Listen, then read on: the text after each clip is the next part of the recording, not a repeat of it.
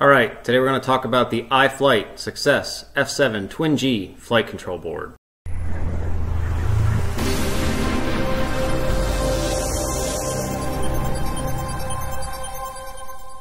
Okay, so iFlight this week launched their SucceX F7 Twin G flight control board.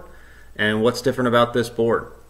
Well, this has a dual gyro setup on it. And a lot of the boards out there, I really only know of two now. There's an SP Racing F7 Dual and the SucceX F7 Twin G, the iFlight one we're looking at here. Those are the only two I know of that has dual gyros on it that can be used in a sensor fusion method as well as individually. All the other boards that have two gyros, they can only you can only use one gyro or the other gyro. There's a couple great features on this board that that I appreciated. One of the big ones to me, honestly, is the 32 meg onboard flash. That's a big deal.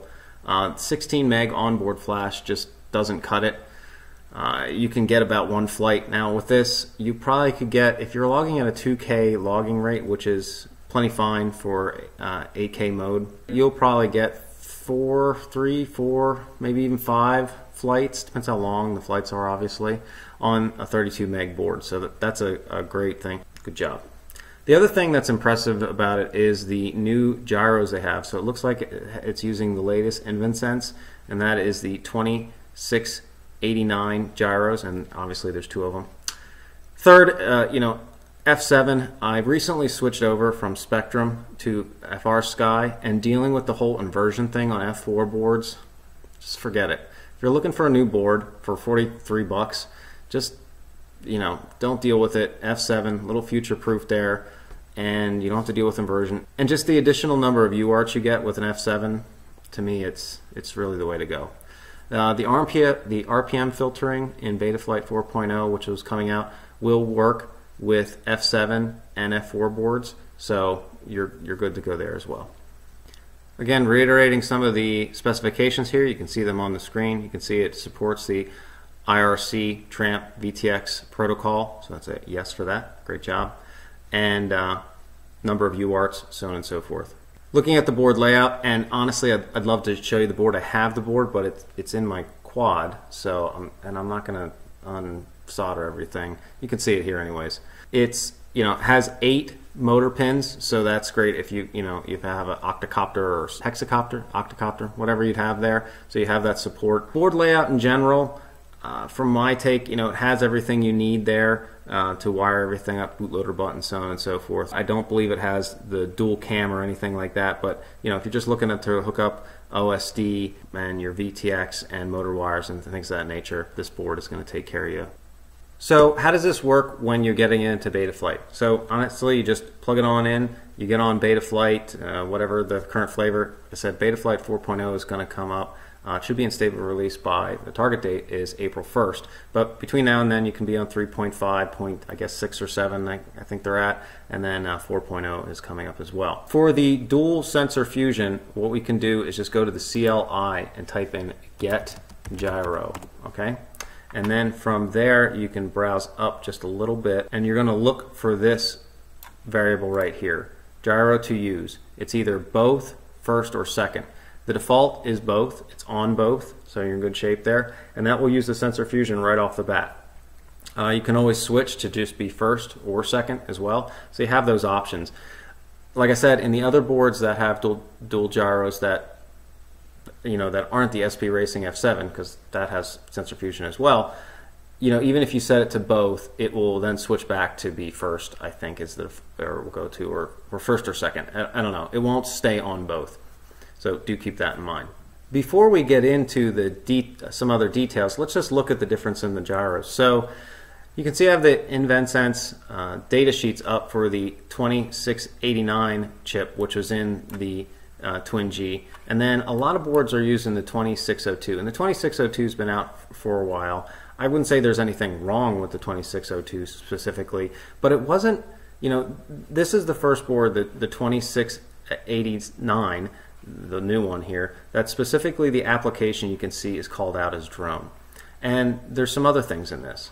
So if you compare feature for feature, there's a lot of similarities, but there is some additional uh, motion processing that's available. Now I'm not sure yet if that's used, that part of the chip is used, but I'll show you here in a second. There's an additional chip on this gyro, like in that little gyro, there's an additional little sub microchip that deals with internal digital motion processing, the DMP. And it looks like it can be exported onto a different pin or whatnot. So I'm not I'm not exactly sure on that, and somebody can jump in in the comments, or iFlight can as well. And it's something that might need further development in Betaflight uh, in addition, but it's a feature that's there. Pound for pound, everything else that you get on the 2602 is the same thing you get on the 2687. This just has some additional things that, that you know might be may be able to be advanced into the future.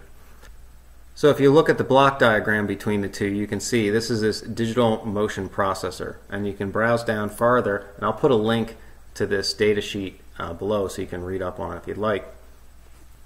But down here on PDF page 21 of 53, they talk about the digital motion processor and how it can offload uh, some of the processing load on the gyro itself uh, to do computational things of, of, that nature. So it's getting a little bit above my pay grade for you know where that's at. It's kind of new to me as well, so uh, something to look into. But that's a new feature on that specific gyro chip that this board is using, and I.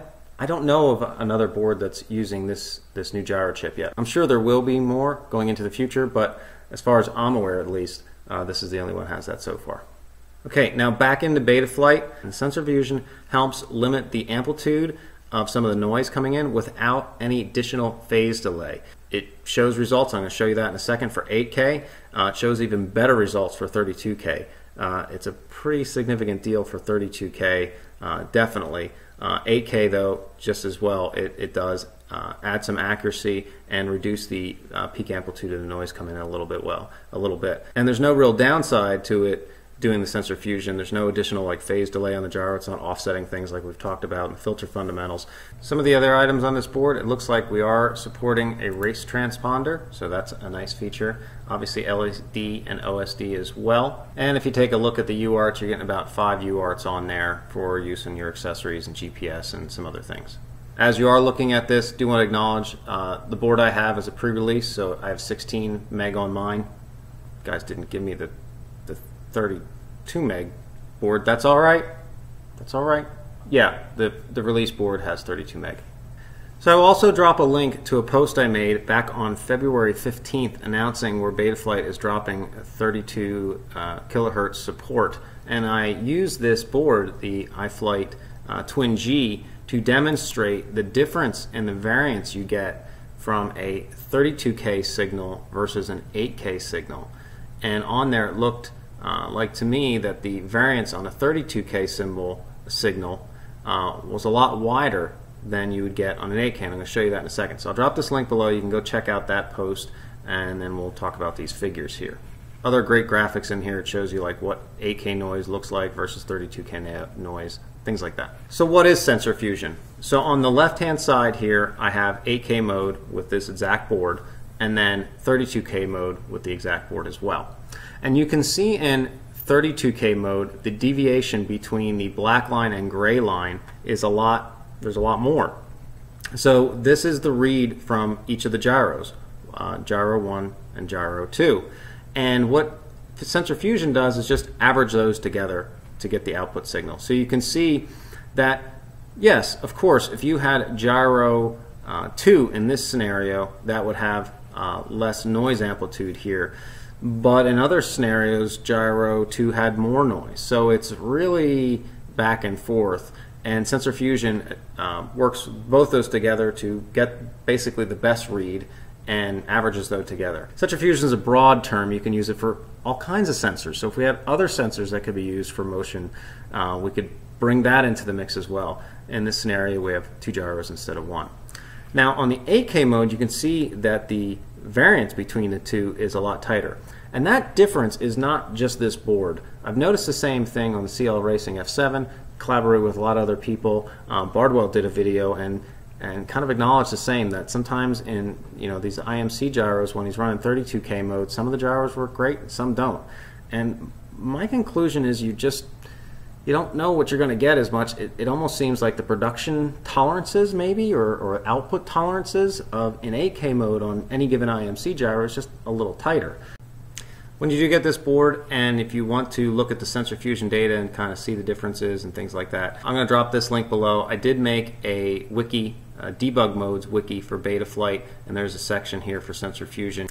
Now, looking at the difference in noise level from one to the other, again in 32K mode, it does make a pretty, you know, a visual difference here. You can see this is the iFlight, so this is uh, two, these two boards are on the same rig, so this is the same exact flight.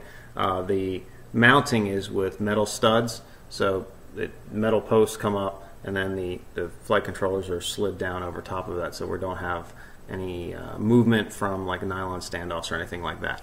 So, and you can see the difference here. So in 32K, you can see this lower end noise. There's less on the iFlight, which is pretty important. Um, up here on the uh, CL Racing F7, you can see you just get some more lower end bass noise, and the low end stuff is, is really problematic. Same thing for high, you get a little bit less um, for the iFlight. Now, as I kind of mentioned just previously, the, the tighter you have a tighter tolerance, it is um, getting probably a more precise answer to the PID loop, but the differential in noise you can kind of see on those plots. It's not like the amplitude was that much different in an 8K mode. So I still bring up the 32K mode because I, I, have a hunch that's still going to stick around in the open source, maybe through Butterflight or, or something like that. But Uh, or if 32K comes back into the fold, you can see that the benefit is there. For 8K, you're kind of getting a more precise answer. I think just from my standpoint, where I would look at it too, is that you kind of have a backup gyro. I have seen people, you know, race or you know hit a tree or crash, and then their gyro start is kind of funky. Well, when your board's toast, unless you're going to you know be skilled enough to replace a gyro, here you kind of have a backup. You can take a look at it just like you would on any of the other boards that have the tool, the two gyros on them. So again, here you can't really see as much of a difference. There's a difference. You can see a little bit here, a little bit less yellow, a little bit less than there you know, it, it's in there. It's just not as stand, draw out to your face. It's mostly on the roll axis here. You, you can kind of see it. So yeah, that is it. That is the iFlight SucceX F7 Twin G flight control board.